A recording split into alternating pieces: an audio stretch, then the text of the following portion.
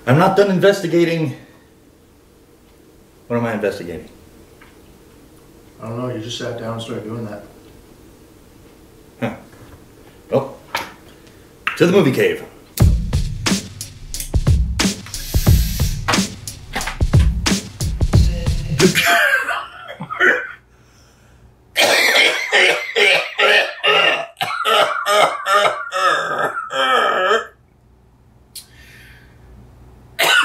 the Girl with the Dragon Tattoo, 2009, starring the great Noomi Rapace and directed by Niels Arden Oplev.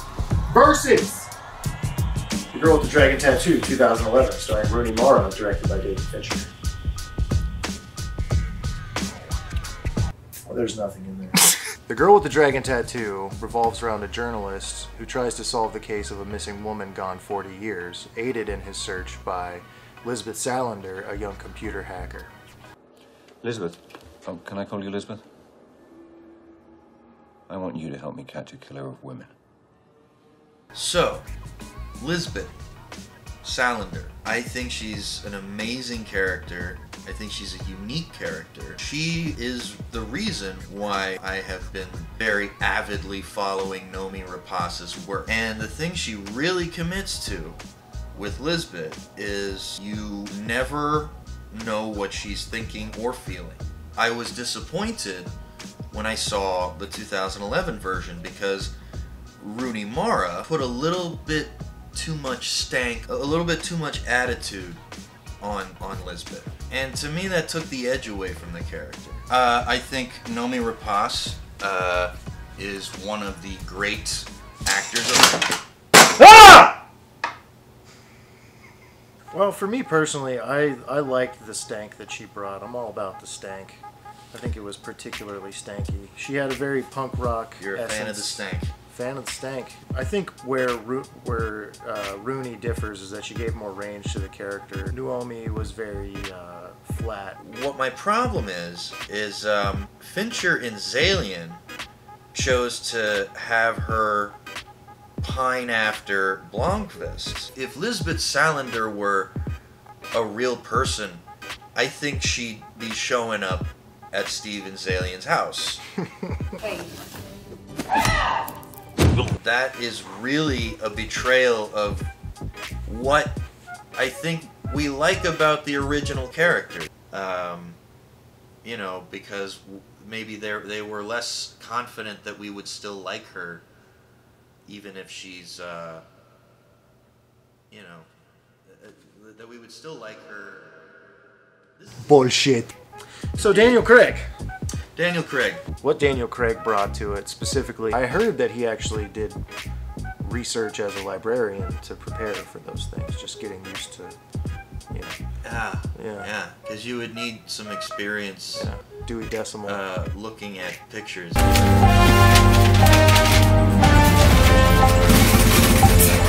Yeah, Craig was probably better. Which I, I'll, I'll give I'll give him that. I'll give Daniel Craig that. Being too lenient on Craig. yeah. Uh, it's like, yeah, we feel so sorry for you that you've been in this foxhole with Bond for so long that you want to get out and do all these departure roles. Right. But dude, Break come the on. mold. Yeah. You know, you gotta you gotta think twice sometimes before some of these things. I'm about to get naked back here. So no bacon. I said no bacon. Yeah. No, I think Daniel Craig, specifically with his Mikael role, he really he really portrayed this guy who's kind of half given up on life. He's sleeping with his boss. He isn't really in his daughter's life. He's kind of a slob. He's kind of a schmuck. Fincher even told Daniel Craig, like, I know you're in Bond shape, but get fat for the role. Meanwhile, this young girl who you're investigating a case with is becoming attached to you. I thought that was very interesting. So wrapping up in terms of the difference in approaches between the two directors, we have Oplev and Fincher. The thing that makes Fincher so Fincher is his relentless attention to detail, really chiseling away at the specific performances that he wants. Where I think the two films really differ are in the montages. There is something very maybe at times overly dynamic about Oplev's style. Plev's got a very an old Hollywood approach to his. He does. It's very cross dissolvey, newspapers, people typing, and it's funny because both guys I think are going for pure information to the audience, but David Fincher was specifically. It's it's earned. You know, your the characters are earning. You gotta read. You gotta read. You gotta look at those pictures, man. You gotta really look at stare those at them while you're lying down on the couch. Absolutely. We're gonna have like ten of those. Oplev doesn't have that uh, flair.